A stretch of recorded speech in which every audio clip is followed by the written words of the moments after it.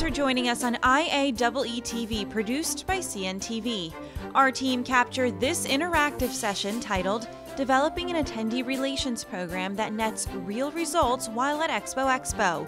You'll hear questions from the audience throughout the session that will provide you with key information to enhance your attendee experience. I'm the president of MDG, and those of you who aren't familiar with the agency, we specialize in um, marketing and PR for trade shows and conferences. We've been around for 38 years, but I would say in the last five to six, our emphasis has really changed and the mix of tactics that we're using have changed a lot. We're doing so much digitally now with um, digital uh, campaigns, SEM, triggered email campaigns, um, paid search, um, you know, so many new things retargeting. But with everything that we're doing that's so technologically advanced, we're also finding that the face-to-face -face connection is becoming increasingly important in our efforts to generate audience. So that's really what the focus of our session is going to be about today, um, kind of on the other end of the technology spectrum and how to plan and implement and execute uh, an attendee relations campaign. And I think there's probably a lot of different ways we refer to it in the room, whether it's uh, community relations, buyer relations, VIP audience acquisition, but we're, we're sort of all going to be talking about the same thing, um, utilizing a personal touch to build audience. And I'd like to introduce you to my panelists, and I'll start with uh, Camille Candela, who's the VP of Marketing at Emerald Exhibitions. And um, she is a woman who has always been ahead of her time in marketing trends. When I first started working with Camille, she was at Magic about uh, 12 or 13 years ago and um, was responsible for really building a very robust buyer relations program there. So. Hi, I'm Camille. Um, I started my career um, in the industry about 14 years ago with Advanstar. At the time, I had 13 shows in the women's fashion industry a year, so you can imagine that's one every month, and they were very large in New York and Las Vegas. So what I spent time, my time doing at that point was emails and direct mail because there wasn't much time for anything else. Um, but it was really our CEO at the time that kind of championed the, the thought process that, you know, we as trade shows spend so much time. We have a sales team for exhibitors and vendors. Why don't we have a sales team on the attendee side? Because at the end of the day, that's what our job is, is to bring the attendee to the exhibitor. That's what they pay us for. So um, our, our kind of first foray into that at Magic, we had two buyer relations, we called them buyer relations um, team members, and by the time I left, we were at 15. And I can't tell you just to hear, and like I said, I was, I was the marketing director, but marketing and attendee relations, and, and we separated the team, worked hand in hand um, across the board about how we were going to approach you know, the market. And we would hear stories from the road, and literally they would be road warriors out on the road. And for stores and retailers to be, they'll be like, wow, like magic walked in my store. I'm a little bitty store in Cleveland, Ohio, but somebody from the show that's the biggest in our industry came to see me.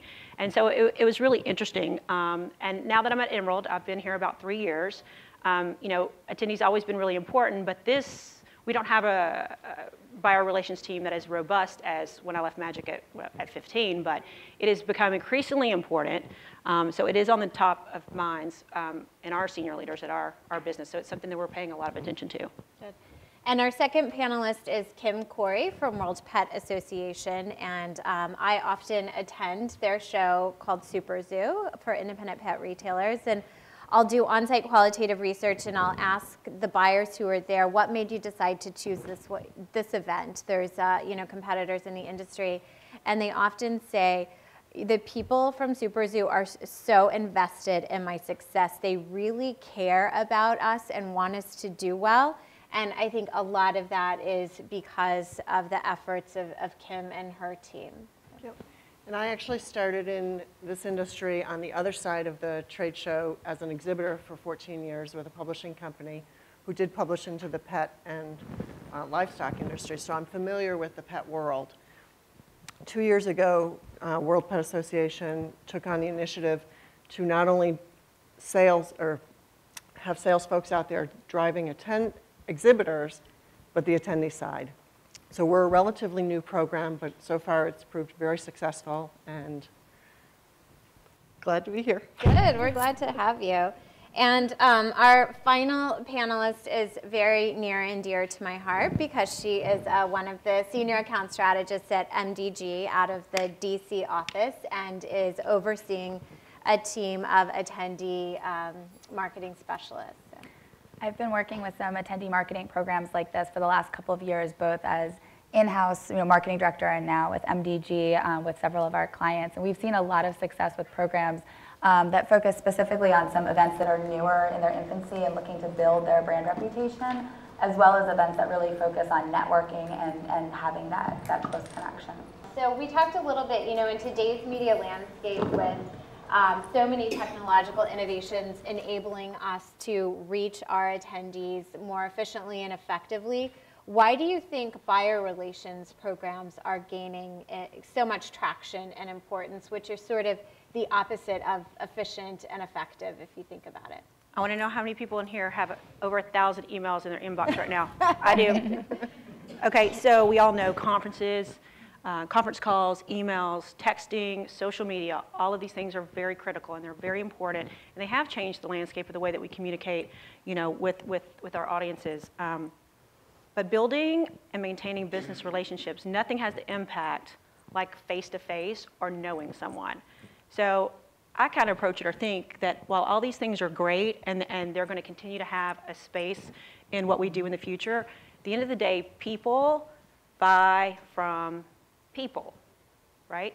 You know, eh, connecting with people is so important. So I think that's why we're starting to see that. And in our industry, like I said before, has spent so much time, you know, everything is on the vendor side. You know, think of all the systems and all the things that we do on the, on the exhibitor side, and then go and think about what you've done on the attendee side and it's just lacking. And when you think about it, and everybody will say this, the number one most important thing in our business is the attendee. That's how I approach it. I mean, I, I, did not come from the industry. I've been in it for 14 years, but it was ingrained in my head as a marketing person, attendee, attendee, attendee, attendee, and that's where I spend my time. So that's how I feel as a person that when I know someone and, and meet them face to face, it's so much more powerful um, all the other things are important, but it's so much more powerful. So I think that's why people are realizing with all the clutter that's out there and, and there's so much information. And when people need something, they have multitudes of ways of finding it, but having that face-to-face connection and, and, and connecting with a real person, um, it's still really important. Right.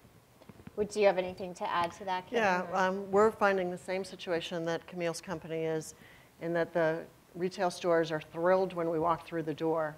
But in the past, we could sort of rely on the exhibitors from our company who would have sales reps going into these retail stores. And when it was almost time for the trade show, they would say, oh, you know, make sure you come see us, da, da, da. Well, they're not sending the sales reps into the stores as often as they were. They might hit an A store, but, you know, there's a, there's a lot of other stores out there, retailers that we want to come to our store, our, our trade show.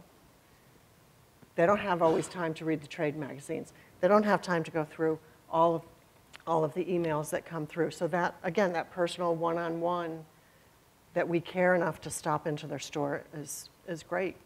What kinds of things are, are you doing, Kim, to involve exhibitors in your attendee relations programs or to at least let them know what you're doing in terms of attracting buyers to see them at the, right. the show? We have a, what's called a Partners in Promotion program. So whereby our exhibitors can't necessarily get into all of the stores to promote their presence at our show. They can send out, um, they can send out emails. They can put banner ads on their websites. They can post on Facebook. We're going to be at Super Zoo. Be sure to visit our booth. Um, so we do put some of the onus onto them to help draw their customers into the show. And I know, Shauna, we're, we're using the partners and promotion programs as well and, and taking even a personalized approach and getting the exhibitors to use that, those tools. Right. So we, we often have our VIP program specialist and, and that team calling the exhibitors individually and talking to them about what we're doing to get the right people there and to their booth, but then talking to them about how we can help them um, expand upon that. And we do offer, you know, those tools like social media posts and suggested things like that. But we'll even go as far as customizing it specifically to the exhibitor because when we give it to them on a platter, we see that they tend to use it a, right. a lot more. And I want to mention, and we talked about this earlier when we were meeting, um, I, I don't think you can stress everybody, we do surveys, right? We ask our customers, mm-hmm. you know, how's it going? What do you like about our trade show? But there's nothing when our team is on the phone or, or in front of someone, you can tell the, the intel and the research that you can do face to face is so incredibly different than sending out a survey where people, that people fill out. Um, being able to talk to your customers and really find out what's going on in their lives and their business and what concerns them, you know, can help shape your shape your your your trade show and your event. And we do that a lot on the exhibitor side, but for the most part, nobody's doing it super well Right. on the attendee side. I mm-hmm. mean, you mm-hmm. probably find that when you're on the Right, road. we get feedback about our show, you know, we would like to see this done a little bit differently, or, you know, could mm-hmm. we have this, and, and they'll open up more Right. than just a standard, you know, select on a radio button off a survey. right. The first audience question is How do you get face to face meetings with executives? One thing that we've been doing with some of our events is we've been holding what we're calling influencer meetings, um, and we usually do them over a meal, so often it's influencer breakfasts. Um, where we invite those high level, those executive level folks, you know, in small groups of 10 or so to, you know, get together and network. And it's an opportunity for them to meet with their peers who they don't necessarily get to see all the time. But it's also an opportunity for us to have that two-way conversation, to ask the questions that are keeping them up at night and how we can shape the event for them.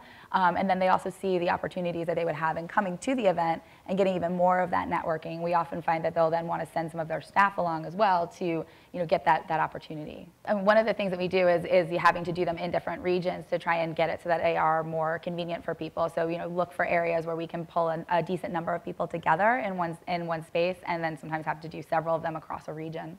Yeah, so with the hospital executives, we chose major markets, uh, DC, New York, and a- couple others, and invited the, um, the senior level people to have breakfast at, you know, the Four Seasons. It's always a place that's nice. It was hosted by an editor of a publication. They're small, but in addition to getting the really great market feedback, you're also, you are creating a community of influencers, of, of people in a tight-knit community that talk to their peers and that will go mm-hmm. out there and be evangelists for your brand because you've taken, you care enough about them to ask their opinion and get their feedback and get their buy-in that's going to help shape the content of their event. So because they're feeling a little piece of ownership, they're more excited about talking to other people within in their network. So it is, I mean, it- it's difficult to scale, but that helps somewhat with the scalability when you're creating people that are out there in market. Evangelizing, good. Um, so, Shauna and Camille, you are both sort of overseeing attendee relations programs, and there's a few people out here who said they were thinking about starting one or would like to get one started. What advice would you give them for um, what types of people to hire or what to look for in the hiring process? Um, I- would say, and I really like to go looking at your industry, the number one, one and two people are a buyer that's in your industry, that knows your industry because they understand the day-to-day that goes on in a buyer's life and what they're going to be faced with. And we have to remember at the end of the day too, this is not something that you take a marketing coordinator and you just let them do it. I view this as, it's a sales position. You're selling people on coming to your event, They've got to be out of their store or away from their business. And while it might be free to get to your event, or maybe it, it- there is a cost, so it is, it's a sales job, and I, I kind of view it as a sales job, um, or a rep from your industry. So someone like you, you were at the exhibit, you were an exhibitor, so you understand calling on a customer. Um, and a good example in one of our trade shows is called Couture, and it's um, high-end jewelry trade show. Um, everything from David Yurman to Cartier, and we hired the lady from the little blue box. So Tiffany's, she was the Tiffany's rep for 15 years. So you can imagine the brand recognition and power that Tiffany's has with an independent jewelry retailer. She knew every single person. When you walk in the door, Jan walked in our company with a list of clientele that we couldn't buy or make those relationships for anything. So she was the perfect person. So she is our attendee relations person on our on our couture show, and she to this day is friends with these people, has relationships with these people. So she was a perfect hire for us. Right. Shannon? Yeah, when we're looking for people on our team, we're, we're, we're looking for people who are strategic thinkers. We're looking for people who have a lot of poise in unfamiliar um, situations. You know, obviously we work with a lot of different clients, and so we have to very quickly become experts in their industry. So we don't always have the luxury of getting somebody who's been in that market, but we want somebody who's going to be able to speak on a peer level. I mean, we are often speaking to executives, so we want somebody who will be taken seriously, who can ask intelligent questions, can easily see synergies between conversations they've had with in one place and another so that they can pull all of that information together and speak intelligently um, in that marketplace.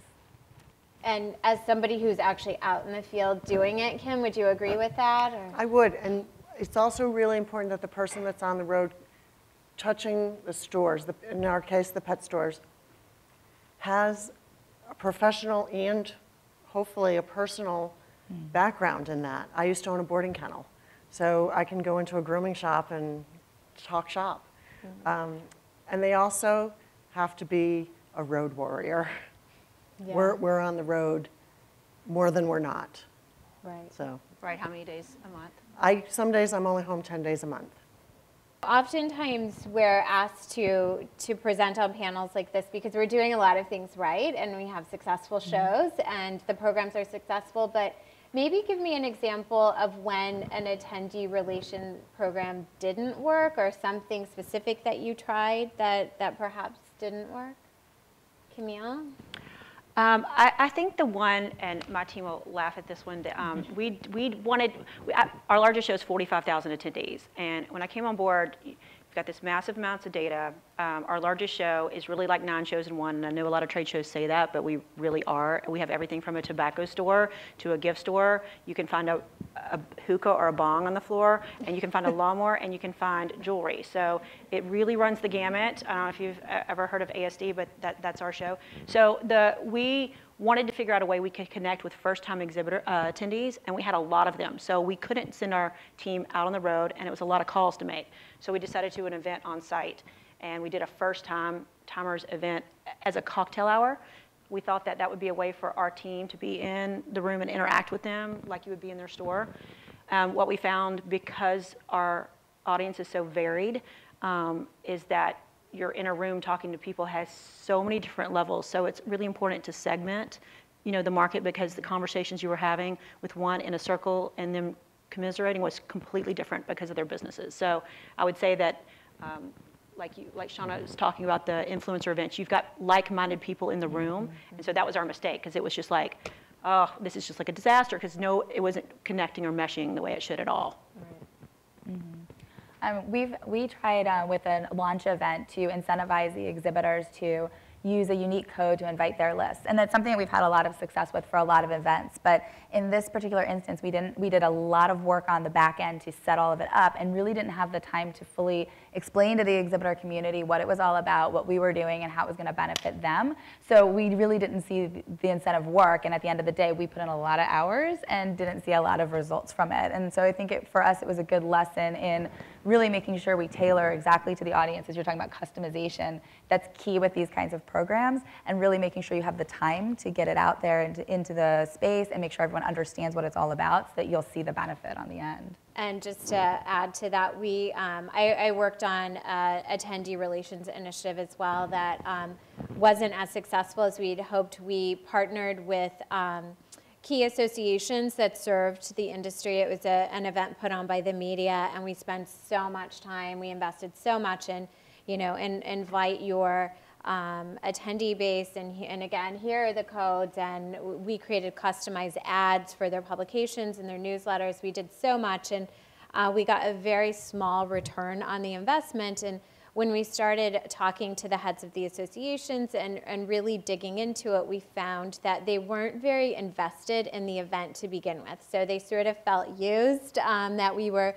utilizing them primarily to generate audience, but we weren't also asking about direction for the event. And, and I think that that's one of the reasons why we've started approaching it more with these influencer type meetings so that we're getting buy-in at that level and we're helping people to feel invested so that they then will go out and um, you know do some of our, our message spreading for And I can us. speak to a little bit. We had a success story on getting them invested because I've done it. So, for instance, if you decide you want to host, right? You know, uh, everybody would like to have a lot of money to host buyers, and some shows do it and some shows don't. So I've done it where we just kind of rely on putting it out there. Um, hope our exhibitors become invested. A lot of times they don't. So I kind of did a test on a, on a jewelry show that we did, and met a great salesperson. And we're, we're at their booth. We're talking to them. They're like, "You guys got to get more South American buyers to the show." And, and, and they're like, we're down there all the time, and we see all these stores that don't come. And so I was like, all right, well, I want to help, we'll help each other, right? You've got your rep down there, so you're already paying for them to go down there, their, their flights, their hotels, everything. You're in front of the customers. So we're going to co-brand a hosting program, and we're going to pick a certain amount, and you're going to invite those people to come to the show. So they look like the hero. Uh, they, they went off the charts. They, they invited tw- 20 buyers from Brazil. Those buyers alone wrote $100,000 in orders. I mean, just from that one exhibitor, not counting the other ones that we got feedback on the floor that had seen those new Brazilian buyers. So if you've got an enthusiastic exhibitor, and I was all about it, your name can be on everything. We did a, a nice uh, presentation and a flyer, and it's like, okay, here's a program, I want you to be involved in it, we're gonna host you, and it had their name on it along with ours. And so they were really invested because they knew that that buyer was gonna come to their booth. Right. Yeah. Sean, how have you gotten um, sponsors or exhibitors involved in, in your attendee relations programs? Um, well, so one of the things, and, and going back to the influencer meetings, that's another way that we've gotten some of our sponsors involved is giving them an opportunity to have a seat at the table. Um, we had done an event in healthcare where they, the, you know, hospital executives worked really closely with the vendors, and so giving them the opportunity to sit together at the table uh, was was really good opportunity for them, and it was something that they then wanted to, you know, promote and be a part of. Good. So, um, Camille and Kim both have um, retail shows. So, when they're expending all of this effort to get buyers to the show floor, it's potentially you know millions of dollars of open to spend money. So, Shauna, why do you think an attendee relation program is um, you know would still make sense for a non-retail show where the buyers aren't coming with millions of dollars to invest back into your exhibitor? Well, as I mentioned, we do it a lot with shows that are a little newer and more in their infancy, and especially for shows like that, it's really important to have this, you know, great uh, group of people who are, are high-profile attendees who are part of your event from the beginning. It's going to help you build that, you know, brand from the bottom up, and so being able to get them invested right up at front is really important. Um, so you want to have them there, even if it's not all about buying and spending. Um, you know, the other the other opportunity that you have in getting getting all those people there when you have an event that's focused on networking and thought leadership, you want the thought leaders there from the beginning so those conversations start and it just builds the brand profile from the very beginning. I, I'm also curious about how you measure the success of these programs in order to demonstrate ROI, either to ensure that your funding doesn't get cut or to, to try to get more funding for this program. So I'll start. I'm the data Nazi. data Nazi. My whole team knows it. Um, being in marketing and our CMO, it, it's about the data. So we always want to try to prove it. Um, so I don't know how every single thing, every effort that we do in the attendee relations department, we try, try, try. And I would say to this point, and it is small, and we're, we're just starting out. Our, our team is uh, like four people, and then we have some extended, extended group. But um, every single thing is tied back to the database. So every call they make has a PURL for that particular person that comes out of the database. So if the end result is to met in a registration, it's tied completely back so I can know how many people registered and then how many people verified on site. Um, that way, among my staff, I can tell which staff person is having a higher verified rate than, than the others. Um, if it's a trip, we can even we can do that when they make calls. I will say the one thing that's kind of um, falling down with us, and I'd love to know from you guys. You know, we spend so much time uh, on the exhibitor side, and we keep talking about that. You know, there's a CRM system, and uh, everybody has one. It's Goldmine, Salesforce, Ungerbox, Sugar, whatever it is. And we capture data and we keep all this great data on the exhibitor side. And I have data on the attendee side from registration, but how many people use a CRM on the attendee side? So you like one, I mean, and, and you guys use one, we were talking earlier, Right. and you guys use one, and, and we have one too, but everything's offline. It's in Excel spreadsheets, you know, that sort of thing with regards to, you know, what's going on. Tomorrow, you're going to win the lottery and you're going to run away to the Bahamas, and then the next person coming in is not going to know like what conversations had been had with that customer or what their thoughts were. And so, you know, I know for us, that's we're starting to have those conversations, you know, with the people that do our CRM on our uh, exhibitor side. How do we connect that to our database and and and with registration so that we have a full view on the attendee side as we do on the exhibitor side. So we have Vinny Polito, the Pinnacle Award winner, in the audience today. So do you have any words of wisdom? I did it a lot when I was at Reed, um, calling on cancer practices. And, you know, it's kind of a feel awkward walking into a place where there's a waiting room of people, you know, waiting for treatment. Um, but like Su- Super Zoo and, and Camille have said, the impression that they were getting was just incredible that, that um, we can make a difference and we're going out there to help them. And our pitch was, when I was at Reed, was the next patient you see will benefit by the event you were at. Um, so we were less, definitely less about this is an event and more about we're going to help you professionally. And, um, you know, Solutions. I, I probably called on a hundred cancer practices. Um, and then Reed being as big as it was, and any of the big producers, what would then happen is I might be, I'm going to Minnesota, right, not in the winter, but I'm going to Minnesota, and they'd be, okay, JCK or a jewelry show would say, while you're there, can you call on a jewelry show? So the juxtaposition for a big company would be, you know, your cancer practice to a jewelry, jewelry store was a bit odd, but, um, Didn't you say like in the same day you would meet with jewelry stores and Absolutely. hospitals? Yeah. Um, But it, the, it, what came through a lot was simply that you're taking the time to invest to come see me. Um, it made a big difference. And I realize you're a little younger than me. Um, the biggest thing that, that I also found was if you had somebody who just was hoping, if I do well here, I can get to booth sales, they're the wrong person. You have to have that person who is like, I want to be in industry relations, I want, you know, this is, so I'm less wired about that, you know, let me jump to booth sales because I can make two percent on a booth and more in, I want to drive, you know, the, the value of what we're doing. And you can incentivize them, you know, on um, finding new um, targets to put in the database, as well as, you know, meeting certain goals of how many people they, they meet. Um, Once we s- start getting really strong um, data on, you know, who's pushing through, you know, verified, we can tie those numbers together, so. But that's what you want to do. Right.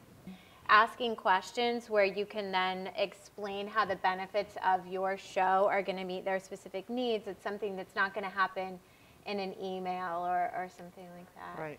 So I don't know, maybe, um, Kim, do you have any examples of when you were talking to a buyer, you were in a store where they shared something with you about their business or their challenges or opportunities where you were able to kind of craft a message about why your show made sense? I was. Uh, A large component of our show is the educational par- portion of it. And we tailor the classes to not only the store owners on a management level, but we have classes all the way right down to, um, not a stock shelfer, but all levels of the company. So it's an opportunity for them to have a different level of education for their employees. Mm-hmm. So even if it's not the owner that goes to the show, they could send a manager or two managers or someone that's mm-hmm. climbing the ladder at the store. Send them out to the show for the education. So mm-hmm. yes.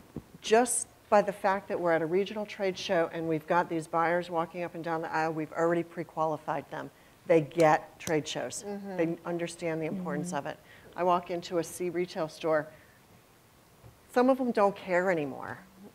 They don't go to regional shows, so right off the bat, you know, I won't go back there next year. Mm-hmm. But if I keep seeing the same people at a regional show, I'm, I'll go into their store. Yeah. And have, you know, if I, I got a three-second conversation at the show, I'm going into the store for a 20-minute conversation next time.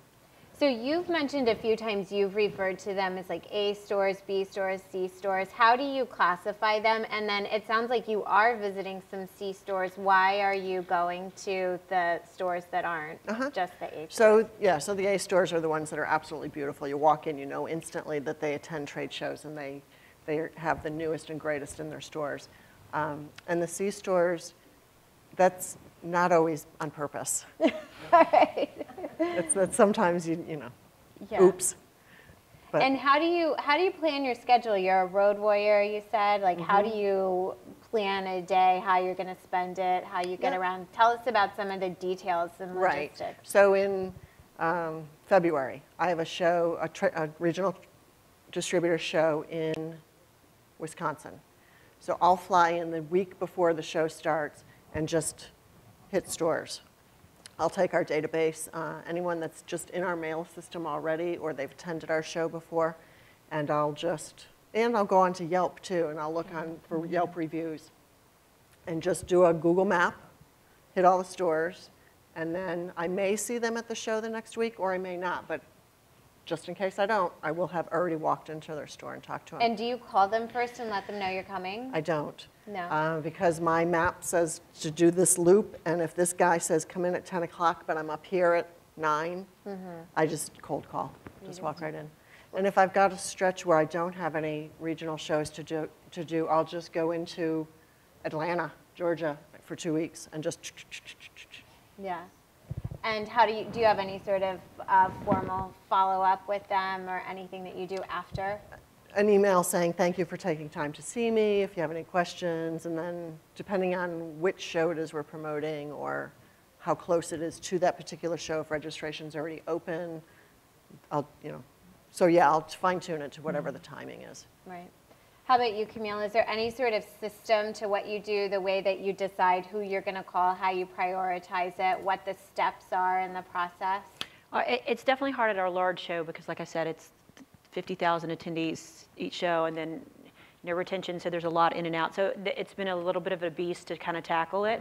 But when you were mentioning earlier, you talked about an A, B, and C store. When I was at Advanstar, we had the same tiering structure on the attendee side as the exhibitor side, and we uh, started tiering back in 2003, and it literally is a constant um, upkeep and maintenance. But we would tier A, B, C, D, and and that tiering level, once we tiered, would um, we would assign like okay, an A tier exhibitor or otherwise needs to be visited twice a year. A B tier, maybe one visit a year, a phone call, you know, so we would set a set of criteria based on their tier. And to mention, we kind of went off like the publication tiering, you know, if somebody buys six or more pages of advertising, that's how they say you're an A tier. So you could be, you know, not necessarily a great brand, but you buy a lot of advertising or you do a lot of, you know, mm. participation in another trade show. Same thing on the attendee side. Attends a lot of trade shows. You could be an A tier, might not be the best brand, or you're a key influencer. But then you've got the people like in the fashion industry, Donna Karan's brand is never going to come to Magic. She doesn't need to come to Magic. She's not going to come. So she might be a C, even though she's a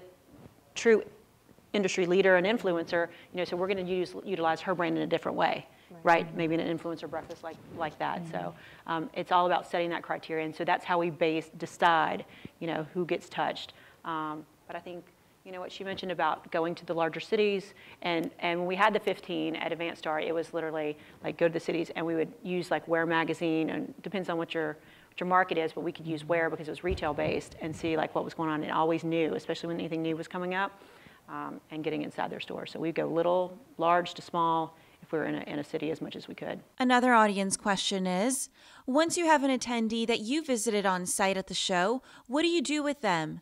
Do you provide them with special treatment? We did have a retailer section this year. I, I don't think the message got out as well as it could have. We could have done a better job saying before they got there to, on their uh, confirmation, for the registration confirmation, could have said, don't forget we have a lounge for you. So that's something we will try to improve on next year. And then we just launched um, matchmaking stations, and when we did them the first time, it said matchmaking. And the fact that I had to go back and put business matchmaking, because I had my cute little girl sitting there, and guys are like, "Are you going to hook me up?" And I was like, "No, this is not Match.com." But that's what they thought, anyways. So we launched match matchmaking stations, and the great thing is because the people that are on the phone or on the road, being in front of them, they're the people at that desk. So people walk up and recognize their name and are like, "Oh, Mary or Jane or whatever," and then they start the conversation. Um, and they're they're equipped to to be able to. I'm looking for you know blue socks or whatever, and they can walk them through, you know, where to go. And it also gives us a way to connect, but they're in really prominent locations. It is, you know, they're front and center at the show, so we're catching them right, they, they walk in the door. We found that in the lobby might not always be the best spot because that's the bathroom questions, but when, you know, you've got them kind of in that, once they get on the floor and they've, you know, got through all the bathroom, I've got my directory and everything. Um, and we've also encouraged them to, once this team, if they're out on the road or on a phone call, you know, we use their, you know, you got your personal, here's my direct line, Right. whatever. So, and they tell them, come see me, I'll be at the matchmaking Right. desk. And then we have those highlighted on the show floor and tell people like, come see me. And then, you know, once you start to make that, you've taken somebody out to dinner or you've been in their store, they're like, oh, I gotta say hi to Jocelyn or I gotta say hi to Nadine or whatever. So they'll, they'll make an effort to come by and see you. Yeah. We do, we do have formal programs at a lot of our events where we do this, where we, um, well, we give them a special phone number to call if they need help with making travel reservations or, or what have you. So they sort of do have their concierge. Um, some of the direct mail pieces that go to these VIP programs, we, we will put somebody's business card. We'll attach that if you need, it, and it says if you need anything in advance or on site, please call. We'll have a lounge. Sometimes we do sponsored um, goodie bags where they may have, you know, waters and a power bar and chapstick and a few other things that are given to them courtesy of a sponsor or, several sponsors. And I mean, um, you know, a few touches. Didn't you guys used to do transportation for people, right, from like one venue to another when you had multiple venues? at Yeah. one of your shows. Yeah. So I know a lot of people do that, transportation from the airport, and um, you know, depending on the value of the buyer, kind of add in special touches. So what about you in terms of measuring success, Kim? Kim what kinds of things do you do to justify the ROI and, and Yeah, track and we're on the infancy with, with the actual met- metrics. Uh-huh. You know, we can, we do know our show went, the attendance went up 9% the first year we had the program and 17 the second, but.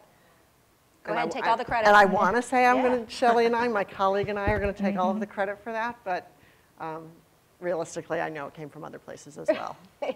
But, but now that we, campaign. we are using the um, data tracking, who we talk to, what did we talk about, we can start pairing that with our registration numbers moving forward. We just haven't really done it yet. How expensive is it to send a team out to collect data face to face? How do you sell this internally at your company? I don't know that this is for everyone or every show. I think sometimes when there are buyers that represent a significant portion of the buying power that you know your exhibitors need to see in order to be successful, and therefore there are those hard ROI metrics that it really does make sense justifying, um, you know, you can justify the expenses. And then, as Shauna was saying, on the other end of the spectrum, when you need, when you, you know, if you're trying to build your brand in a certain way or launch a new event, and there are critical people that you need at that show to be legitimate, um, you know, it, it makes sense in that way too. I'm not sure that it makes sense for, for everyone. And I don't know that being on the road always makes sense either. I mean, mm. a lot of what we do is, is just phone. phone calls mm-hmm. and even super personalized emails too, where we look up things about the buyer and we say, oh, congratulations, I see you just got a promotion because we searched it online. And mm-hmm. we can write in a really customized way that gets people to take notice and, and write us back. So I don't know that it always has to be on the road. It's great if you can do it, but if you can't, there are some other ways to still be personal. I think um, to that point, at, to me, that's a great way to start if you're trying to sell it because you don't have to sell it all at mm-hmm. once. You can start with, you know, I feel like we have this population that would be great influencers. And if you started with something small, like three major cities, and you did influencer breakfast with a small group there and tracked how that came through for you. And sometimes, mm-hmm. especially at the beginning, it is a long term sale. So we do a lot of follow up. You have a lot of conversation at the beginning you go back to them and say, hey, that conversation we had where you told me that you were really needing X, I just wanted to let you know we've really incorporated that into the event. I hope you'll come check it out, you know, to really build that relationship. And when you can prove that this one-to-one relationship is driving an increase here or we're seeing this, this change that we want, I think it can give you sort of the fuel you need to say, now if I put a team on the ground and had them out there, we could do that so much more. And I will say with, with ours, we do, uh, a, a lot of it's done at, at um, Emerald now over the phone. We don't spend as much money as uh, we had at Magic for, for travel. Um, but what we are able to see, and try, like I said, tying it back to the database, we do a ton of telemarketing too. Um, you- we're, we're all knowing, like, if we're doing all the things, if we're social media, if, you know, if it's content marketing, if we're doing the emails, we're, we're doing the direct mail and all those things, you know, this is, you know, the, the kind of last component, because if it's the face-to-face or the phone calls, and we can tell, like, I know what my uh, rate of response is and my rate of return is on telemarketing, and I also know the verification rate is higher when one of my team talks to them. It's a longer conversation, uh, a lot of times, especially if it's a, it's a large buyer or a new buyer, it takes longer, and a telemarketer can't do that. But I use telemarketing extensively on people that, you know, it's been a couple years since they've come. We, we need to, I, I, I can tell you right now, I'm definitely finding, you know, my open rates are 20, 25% on emails. Good, yeah, I know, but when 80%, it freaks me, 80% are not getting it. So, you know, I pick up the phone and call them. And I spend $50,000 on one telemarketing campaign. So, but, but I can tell all the way through. Like, I know, you know, my telemarketing people are getting more people registered, so I have to take the time and work with them to know that the goal is not to get them to register, the goal is get them to show up. Thanks for watching this session on developing an attendee relations program that nets real results. This is IAEE TV produced by CNTV be.